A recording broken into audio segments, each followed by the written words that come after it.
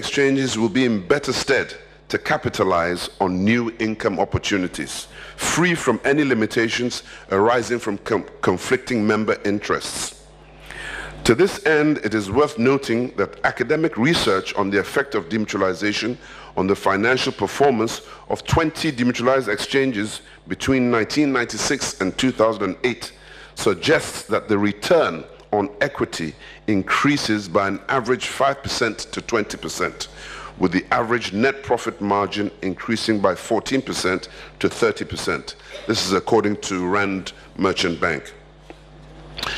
De demutualization has also contributed positively to stock market performance.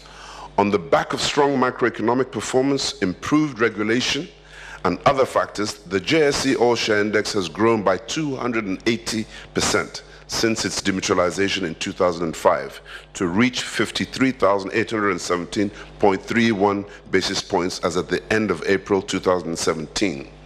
Similarly, the Nairobi All Share Index gained 16% since its demutualization process, reaching an all-time high of 176 points in February 2015 prior to the commodity bubble and global flight to safety following the US Fed's increase in its benchmark lending rate.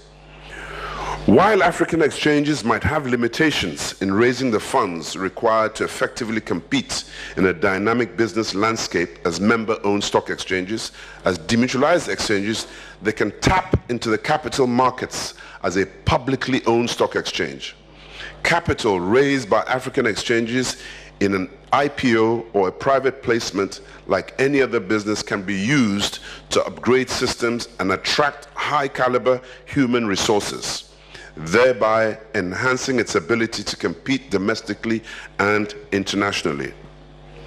Following demutualization, a number of our peers have repositioned their markets, building alliances or consolidating within and across borders in order to enhance their attractiveness. For example, in 2006, the Australian Stock Exchange merged with the Sydney Futures Exchange to form the Australian Securities Exchange, the ASX. The following year, the New York Stock Exchange merged with Euronext to form NYSE Euronext, creating the world's largest stock exchange with revenues in excess of $4.5 billion. More, more, peculiar to emerging markets, demutualization could serve as a means of collaborating with strategic shareholders with specialized know-how aimed at importing international skills, knowledge, and technical efficiencies into our domestic markets.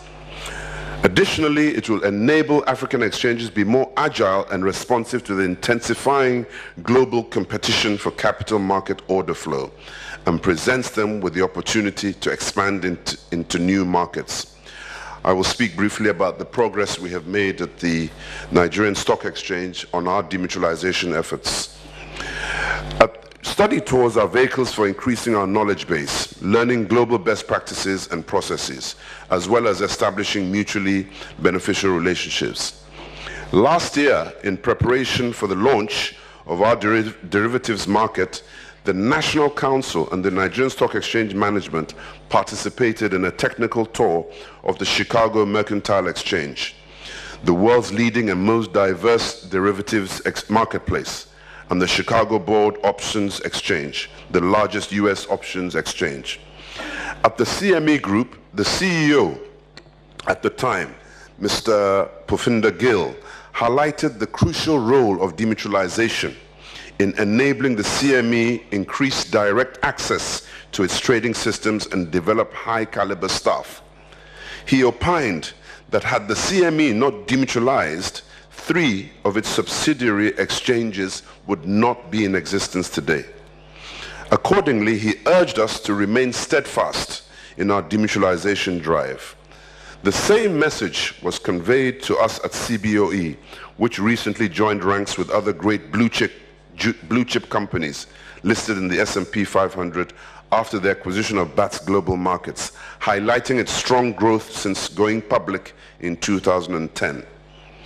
To strategically position the Nigerian capital market for the next phase of growth, I and my colleagues on the National Council, along with management, made the strategic decision to demutualize the Nigerian Stock Exchange in our overall ambition to reform the Nigerian capital market into a world-class market. Following this, we employed an extensive RFP process in the appointment of legal and financial advisors for the demutualization project in 2015. Recognizing the importance of demutualization to the vitality of our business model, the National Council held a strategy session in the first half of 2016 solely to discuss the stock exchange roadmap to manage issues that could affect the process, including potential regulatory and political concerns. Subsequently, a meeting between the National Council and past presidents of the exchange was held with six past presidents in attendance to discuss solutions and insights on a clear path forward. The value gained with this engagement has dramatically enhanced the likelihood of a successful and seamless demutualization process.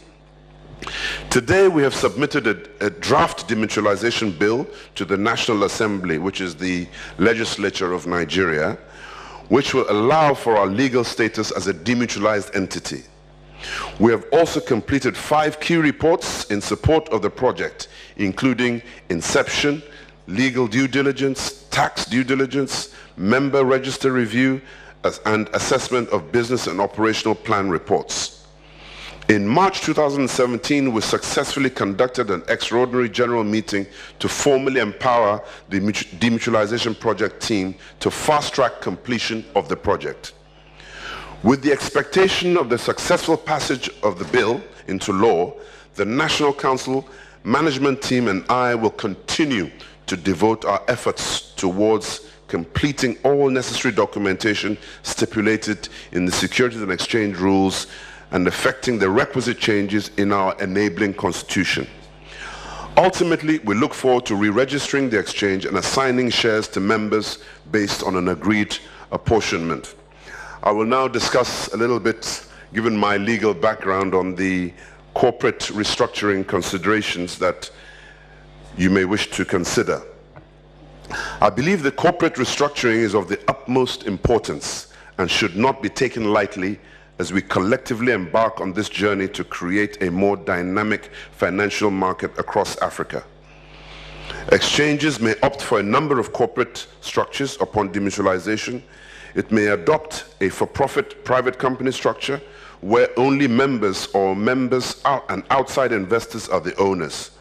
Alternatively, the exchange can be listed on a recognized exchange, most times on itself, with or without restrictions on the number of shares that can be owned by exchange members and non-members. For most demutualized exchanges, a private structure is usually the first step before publicly listing.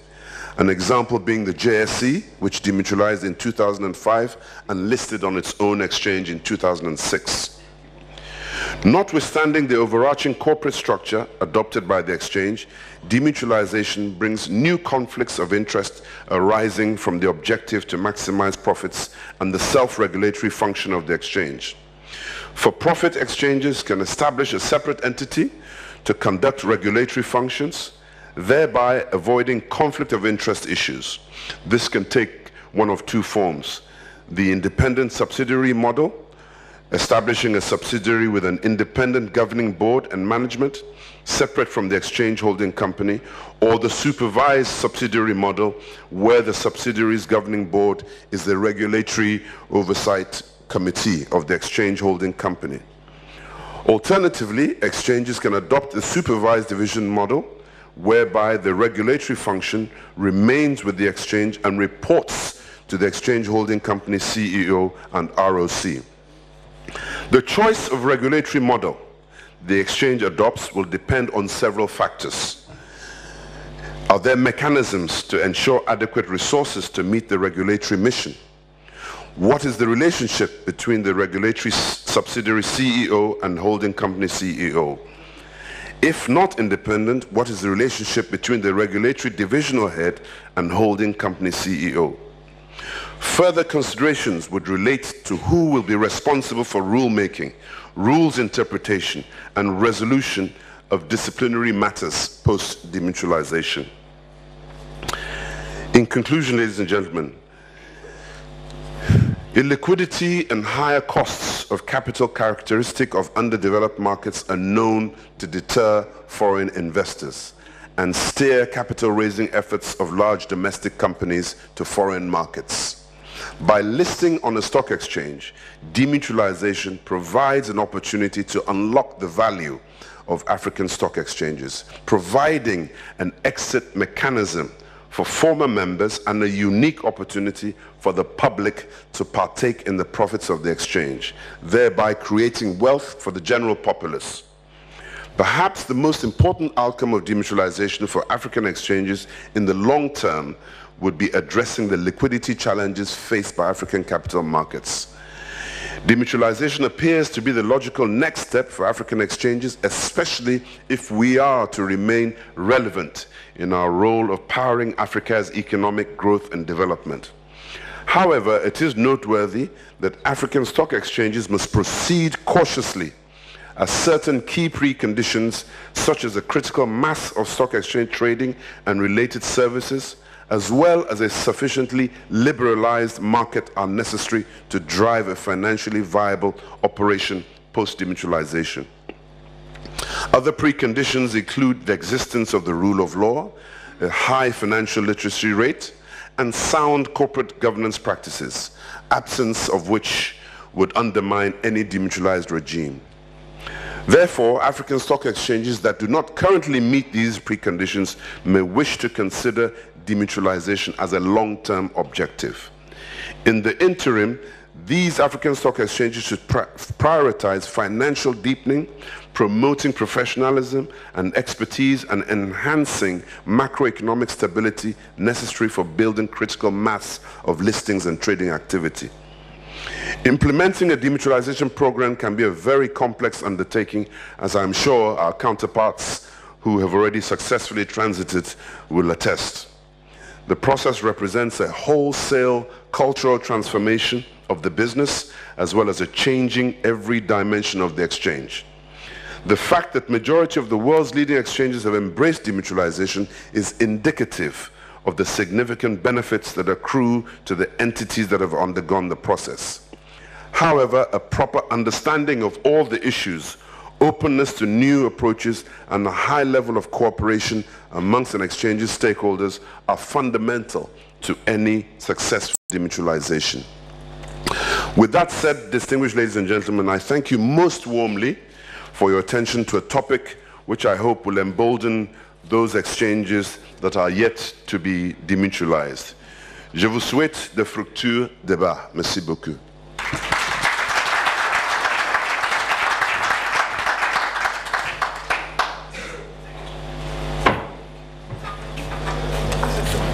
Thank you very much to Mr. Ogunbanjo for giving us such a detailed de description of some of, and also not sort of gilding the lily too much, but explaining some of the complexities, some of the routes, and also preconditions. I was happy to be involved in the demutualization strategy for Dar es Salaam Stock Exchange, and also the excitement when it did an IPO and the share price doubled in the first day of trading, because so many people were excited about the prospects of a stock exchange under dynamic management, moving into the new structure and playing a very dynamic role in the economy. And it was very interesting, you know, bringing stockbrokers more closely into the exchange almost th through the change of demutualization gave a lot of energy. But now, don't worry about the time. We've got some interesting ways to catch up time later in the day, but we're pushing on into our next session, which is one of the key headaches that most stock exchanges probably around the world and particularly in Africa think about, and that's liquidity. And it's not the sort of liquidity that happens in the evening in the bar, but it's actually trading volume. And we've got two very renowned experts here to share their, their insights, and I'm sure they're going to do little presentations, and I hope there'll be one or two chances for questions at the end. But um, first of all, i would like to, um, maybe you come up one by one and do your presentations, or, yeah, you go up there and that'll be fine, because then you'll be able to take some questions. So the, we have Siobhan Cleary, who's Head of Research and Public Policy at the World Federation of Exchanges and has a long history of being closely involved with African exchanges in helping both from Johannesburg Stock Exchange and working, uh, as, as we know, with lots of the other African exchanges on helping people develop strategy and understand and critically putting liquidity right at the heart of how that should go forward. And then Quinton Goddard, who's Principal Financial Services Market Infrastructure, uh, Oliver Wyman, another great expert, well known to you, I think. Um, so, yeah, two great presentations. If you'll come up and then do your presentations, and then we'll have some questions. Thank you.